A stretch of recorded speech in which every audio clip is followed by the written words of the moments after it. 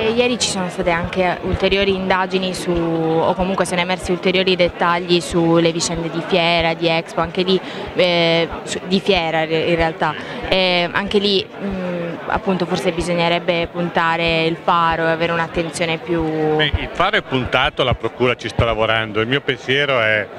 che a questo punto, posto che questo Consiglio di amministrazione di fatto è dimissionario, eh, non è il mio auspicio ma è quello per cui lavorerò,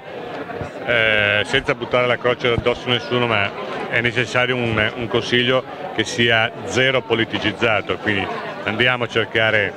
persone di qualità, affidiamo la ricerca anche a istituti esterni, eh, diamo un po' una svolta, poi rispetto alla, alla,